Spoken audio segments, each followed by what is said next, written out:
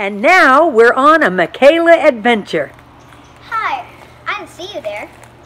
So right now I'm adventuring. I'm in the backyard. I'm just adventuring right now. So right now I'm just trying to look for some wild animals.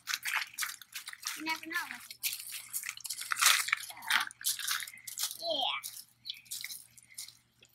Did you see anything?